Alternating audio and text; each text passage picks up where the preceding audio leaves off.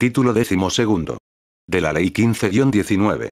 Ley Orgánica de Régimen Electoral. De las fusiones, alianzas o coaliciones de partidos. Artículo 125. Aprobación e impugnación de fusiones, alianzas y coaliciones. Los partidos políticos una vez constituidos, pueden fusionarse, aliarse o coaligarse, mediante el procedimiento establecido por la ley y por los reglamentos que dicte la Junta Central Electoral. Párrafo primero, las decisiones adoptadas a lo interno de los partidos políticos, que procuren la concertación de fusiones, alianzas o coaliciones deberán ser aprobadas por mayoría de votos de los delegados de las convenciones nacionales que, a ese efecto, celebraré cada uno de los partidos y cuyas actores deberán ser sometidas al examen de la Junta Central Electoral. Dentro de las 48 horas después de aprobada la fusiones, alianzas o coaliciones, por las convenciones de los partidos. Párrafo segundo, ante cualquier reclamo y dentro del mismo plazo, los disconformes de la fusión, alianza o coalición, podrán someter el asunto por ante el Tribunal Superior Electoral para que conozca y decida sobre el mismo.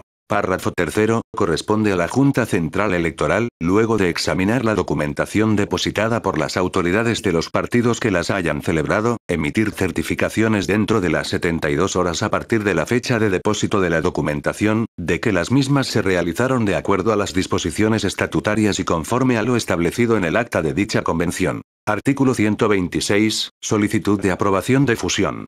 La solicitud de aprobación de fusión, alianza o coalición deberá ser depositada en la Secretaría de la Junta Central Electoral a más tardar 90 días antes de la fecha señalada para las próximas elecciones, acompañada de los documentos que requiere la Junta Central Electoral. Párrafo primero, el escrito que ha de ser depositado en la Junta Central Electoral, será el resultado de la impresión que se genere a partir de la utilización de la herramienta o aplicación informática que implementará la Junta Central Electoral para tales fines, quien dictará los reglamentos que sean necesarios para el cumplimiento de esta disposición. Párrafo segundo, la Junta Central Electoral fijará la audiencia correspondiente dentro de las 48 horas siguientes, y convocará a todos los partidos políticos reconocidos para conocer el caso, el cual será decidido dentro de las siguientes 72 horas. Párrafo tercero, la resolución que intervenga no será susceptible de recurso alguno, salvo la revisión ante la propia Junta Central Electoral. Párrafo cuarto, la resolución que dicte la Junta Central Electoral, al respecto deberá ser publicada conjuntamente con el pacto de fusión, alianza o coalición, en la página web de la institución y los medios que estime convenientes, y notificada a los partidos políticos por la vía correspondiente.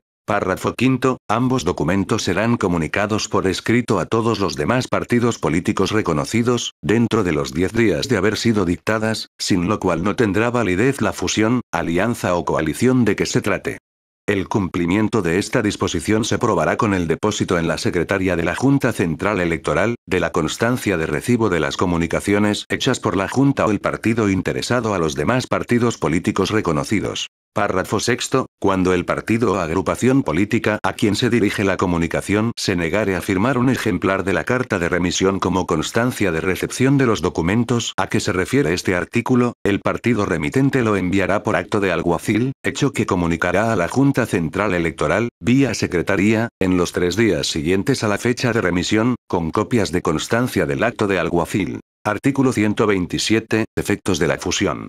La fusión determina la extinción de la personería de todos los partidos que intervengan en ella, subsistiendo únicamente la de aquel que personifique la fusión. Artículo 128, de las alianzas y coaliciones. La alianza o coalición de partidos tendrá siempre un carácter transitorio y, dentro de ella, cada uno de los partidos aliados o coaligados conserva su personería, limitada por el pacto de alianza a coalición a su régimen interior, a la conservación de sus cuadros directivos y a la cohesión de afiliados. Párrafo, para la postulación de candidatos comunes y cualesquiera otros acuerdos, los partidos aliados o coaligados serán una sola entidad, con una representación común, igual a la de los otros partidos o alianzas de partidos, en las juntas electorales y colegios electorales. Artículo 129, Pacto de Alianzas y Coaliciones.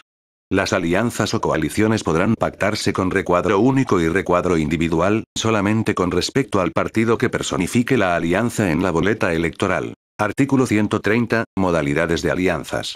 Las alianzas o coaliciones de partidos pueden producirse solo dentro de las modalidades siguientes, sin que se permita en ningún caso el fraccionamiento del voto para candidatos de un mismo nivel. 1. Para las candidaturas del nivel presidencial. 2. Para las candidaturas del país en el nivel senatorial. 3. Para las candidaturas del país en el nivel de diputados. 4. Para las candidaturas del país en el nivel municipal. 5. Para candidaturas congresionales o municipales en una o varias demarcaciones políticas. Artículo 131. Prohibición de alianzas de agrupaciones políticas.